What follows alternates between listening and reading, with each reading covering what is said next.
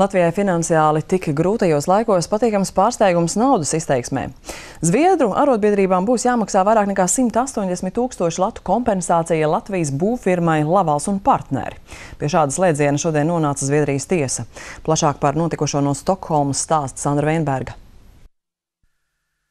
Šodien Stokholmā noslēdzās skandalozais tiesas process, kur šeit Zviedrijā un Eiropas Savienības gaiteņos sauc par Vaksholmas konfliktu lavalu lietu vai latviešu būvfirmas cīņu pret Zviedru arotbiedrībām. Kauja Latvija-Zviedrija ir beigusies par labu Latvijai. Taisnība ir uzvarējusi.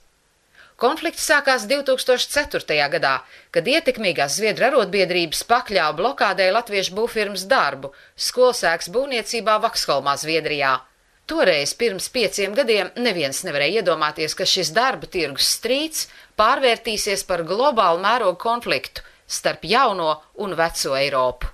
Toreiz latviešu celtniecības firmu bloķēja Zviedru arotbiedrību un lielo celtniecības firmu lobbyis ar Zviedru sociāldemokrātu valdību priekšgalā.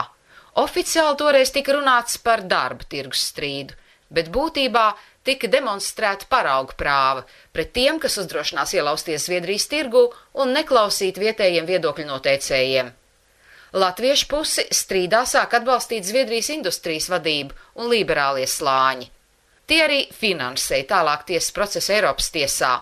2007. gadā tiesa Luksemburgā izšķīra šo strīdu par labu Latvijai.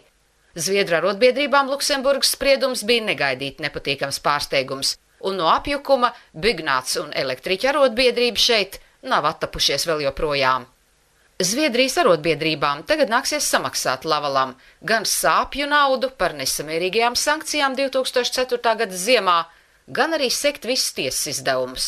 Zviedrijas arotbiedrība šodien mēdījos neslēpj sašutumu par piecus gadus garā tiesas procesa iznākumu un neatzīst savu vainu notikušajā.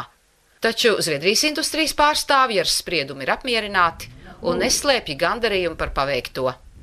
Sandra Vainberga, Stokholmā, speciāli Latvijas televīzijai.